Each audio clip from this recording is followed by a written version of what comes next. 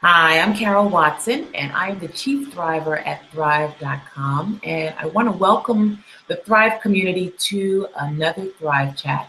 For those of you that are new to this experience, we are doing weekly 20 minute conversations with industry thought leaders and recruiting and coaching experts that can help us um, manipulate the industry and figure out how to navigate um, our careers in the industry. So we welcome you all and we invite you to tweet your questions, share your comments, and um, chat on the message board. If there are questions that we can answer during the session, we will be happy to do that. And if there aren't, Nathalie, I'm sure will be um, more than welcome to respond after the session. The Thrive Talks will be available on demand. They'll be archived, so you'll have the opportunity to check in and check them out and share them whenever you need it, even if it's two in the morning. So welcome to another, another Thrive Talk.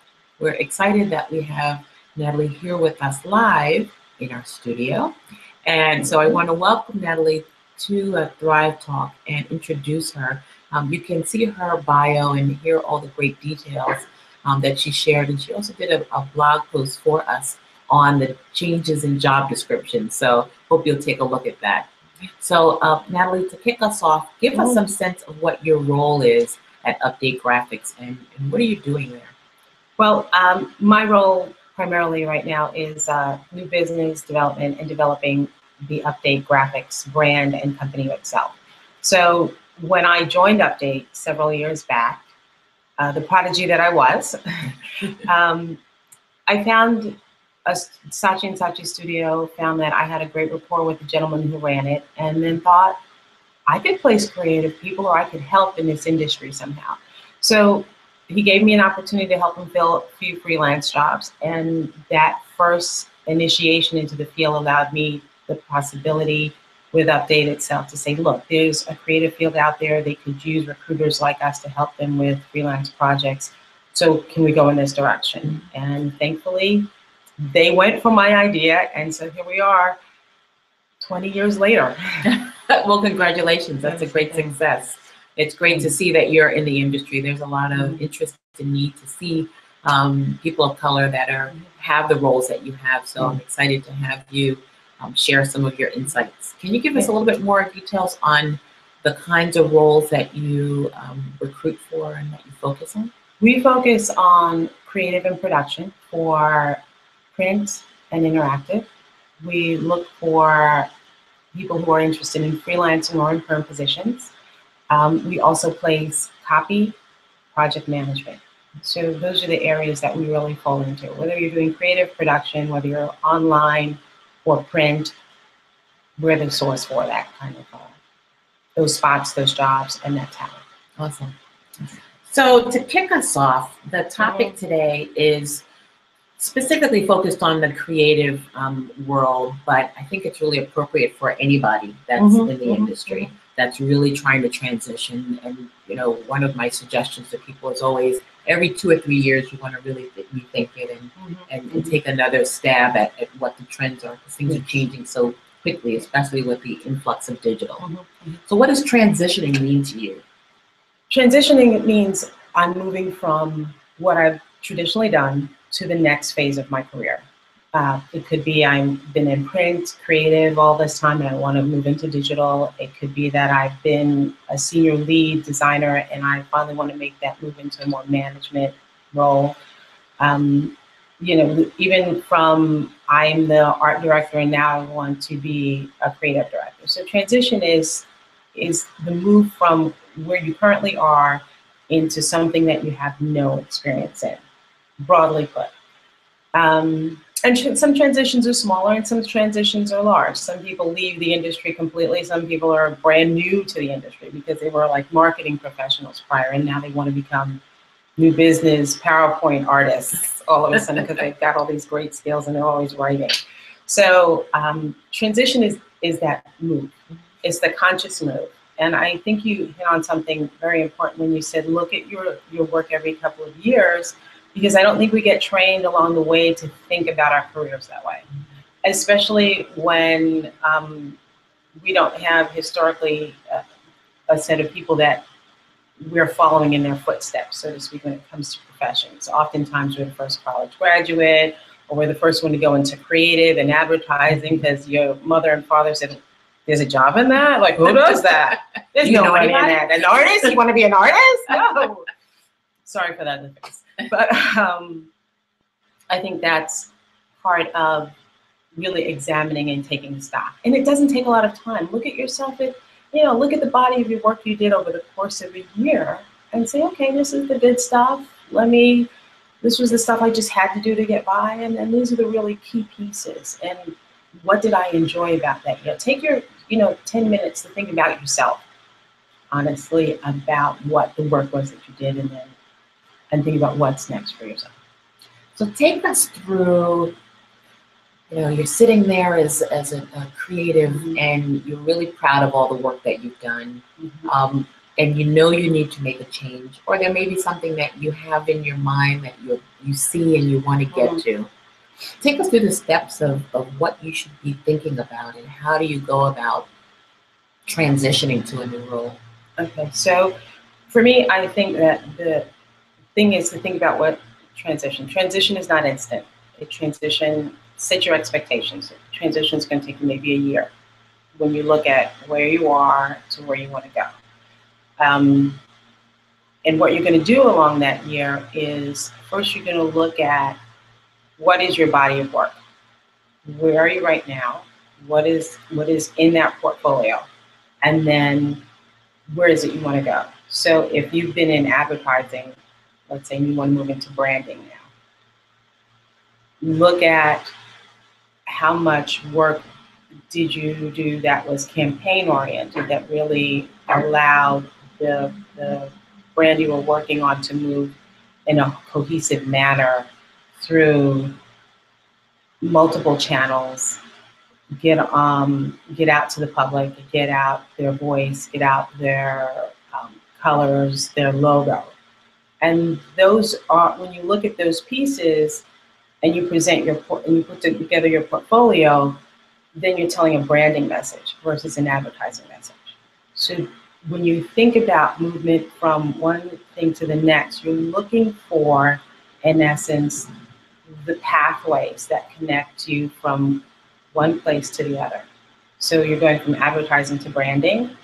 You're looking at what were the campaigns that I worked on that really used the principles of the brand, com- uh, communicated the brand message in the advertising, and then promote those. Awesome. So it's it's sometimes hard to, you know, see our own selves when it comes to Mhm. portfolio work. What's the best way to get some really honest feedback, and what's the best way to receive that? Um, okay, so feedback is hard. So uh, put on your your armor because you, you don't want people to tell you your work is not as great as you think it is. And oftentimes you will find that they think your work is good and they'll just redirect you on how to present it. Getting feedback, look at other people's work, and then ask people about your work. Don't be afraid to find the person in your company or make friends with um, a senior level person that can give you honest feedback on your work. Look to um, other designers and ask them what they think. Make friends, work in, look in your network. And it's not natural for us to network amongst the other designers we know and say, look at my work, what did you think? But they'll give you real feedback about your work. Go to recruiters. It's there, they can be objective and they can be specialized, but if you're a branding, if you want to go into branding or you want to go into advertising and the recruiter really services advertising agencies, they're going to have a very great perspective on your book and tell you, you know, your story is great. We need you to put in these pieces or take out, put in these pieces, take out these pieces. Have about 15 to 20 pieces that really show the arc of your career. So that first piece is very tantalizing and interesting and we want the person to look further. And then it's a slow build to the best piece that you've done in your book. And then you know like a good story you peter out with a nice ta-da goodbye the end. And when you lay out your portfolio that way someone will get the story of your career. Um, we often do it at Update. Uh, we'll get people in that we can see the potential in their work, but the layout of the book is is a little scattered or it's not thought out well. It's the pieces are not strategically put together. So we'll guide you through putting the pieces in a format that will work. Even um, one of the key things is that a lot of the portfolios are online now, and it's the best way really to present yourself. And you can go to a Coroflot or a Krop, coroflot.com or krop.com to put up your portfolio. Um, Wix Lounge, I also believe, has that ability to put up a free portfolio. And when you're putting in the pieces, separate out your work. Is it advertising? Is it marketing? Is it digital? Um, make categories so you, the pieces are self-explanatory. Give little blurbs underneath a piece so that the individual know what your participation to the piece was. Um, all of those little hints and those little details make the viewer understand that you're serious about it, you're good at what you do, and you will take care of them because you've taken care of yourself. So there's always a catch 22 um, mm-hmm. that frustrates candidates. Yeah. So if you're trying to get in somewhere where mm-hmm. you don't have an experience and you don't mm-hmm. have the demonstration of the work, um, whether it's digital, whether it's branding, or whatever it is, you mm-hmm. just you're on the outside and you mm-hmm. don't have relationships, you don't have people. Um, how, what, what do you tell people to kind of start building their repertoire and to demonstrate an ability to do the work, even though they haven't been given the opportunity to do the work? Spec work is big and a great tool. If you see a banner, if you let's say you want to design in advertising and you want to do digital design and you want to do websites and banners, items like that the first thing to do is to, show that you are, first of all, you're showing your design sense in your, in your portfolio because you've worked on other pieces on the print side. Now it's time to do the spec work and translate. Maybe you worked on a campaign for cups and it's a great campaign. Think about that campaign now digitally. What was the banner ad you would have designed? What is the website look like for cups? And all of a sudden you have this great these great ideas that you're doing spec work and layout work for that you can show. And you can say to the person that you're interviewing and who is looking at your book, I worked on the print side. I did have ideas that I felt would be executed well on the digital side, so I felt I should show them. True um, concept and creatives will look at spec work as well especially when you're in that that transition phase and they realize you're moving from one thing to another they're they're taken by your initiative. They appreciate that you are doing the work to move forward, and they'll take a look at it and they'll give you feedback. Uh, most will give you feedback. There's still a few people, two percent lunacy factor. There's a lot of crazy out there, so don't worry about, about the crazy, business, right? Yeah. and this is important. Don't worry about crazy. And the critiques are not about you; they're about work it's it's like when you were in school and you wrote an essay and your teacher told you you got a B because your your grammar was off. Critiquing work is about the work. It's not about you, so don't take it personally. And it's so key to, to remember that, especially when you're trying to push yourself forward into something else. No one is trying to beat you up. They're really trying to just give you what they see. And that's what you take from it. Don't take the personal from it. Just take, all right, that's what you saw. I appreciate that. You have a number of people who've told you different things. Look at the feedback. You're intelligent, you're smart, you know where you want to go. Put it all together. It's not just one person, it's the mass, it's massing the, the information you got and then pushing it forward to your benefit. That's great advice. Um, I, think I want to touch on the, the FaceTime part on, on, on uh, mm-hmm. getting feedback. So the mm-hmm. One Club does a great um, event in the fall called Here Are All the Black People, where it's a great mm-hmm. way for people to get feedback. And the AAF and MAIP, they have great experiences for people mm-hmm. to get portfolio feedback.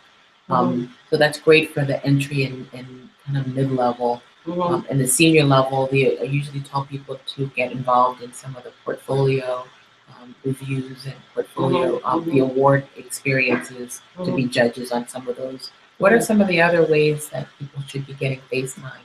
to build the relationships in the business?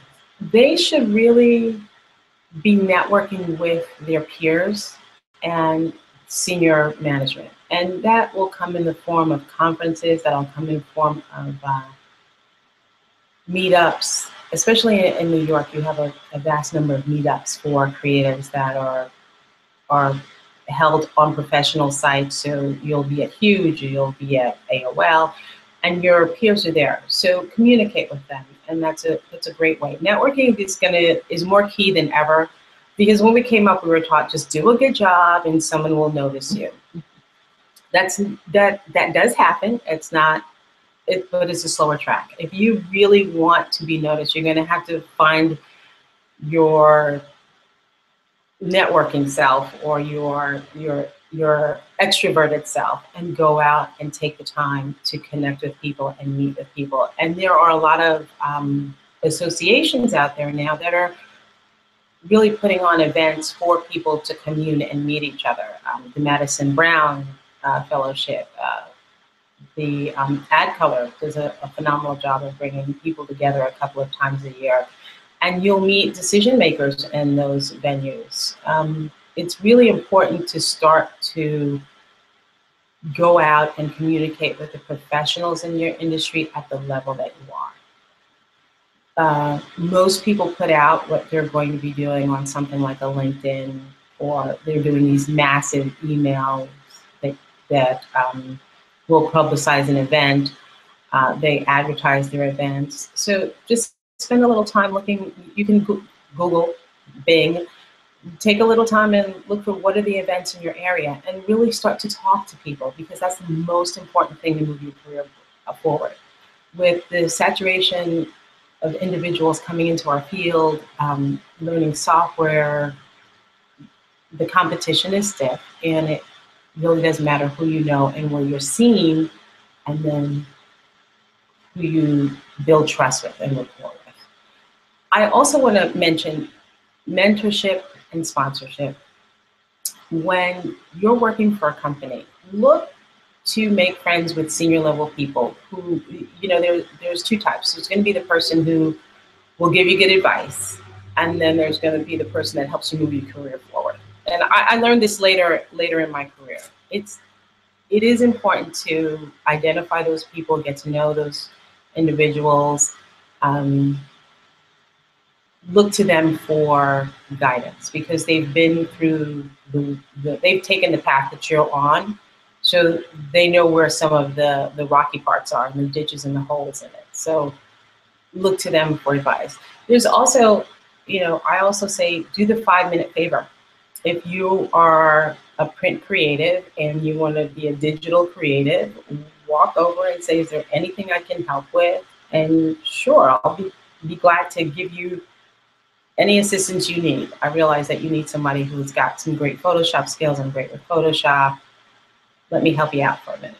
And and those little favors, those pieces of courtesy, professional courtesy that requires you to use your skill is what can can create rapport and trust. And then all of a sudden someone is saying, you know, that guy is really good. He's awesome. He helped me out can we give him a shot? That's how those things happen. Awesome. Thank you for that. Sure. Um, please take a look at our events calendar. We're, we're going to be posting as many of these uh, types of events that will allow you to get um, your portfolio feedback and network with your peers. That's kind of the goal of Thrive, and we're excited about that. So if you hear about events that you think we should be sharing, if you've been to one that you think was pretty awesome, let us know, and we want to post that. My last bit question to you mm-hmm. is what how do you thrive? What do you what works for you? Running my mouth.